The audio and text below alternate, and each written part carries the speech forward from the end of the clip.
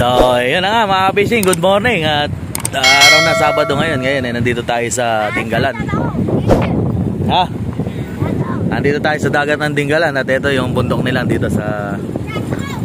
Ah, shoutout mo na, dali, si Unte, ano, Jared. Oh.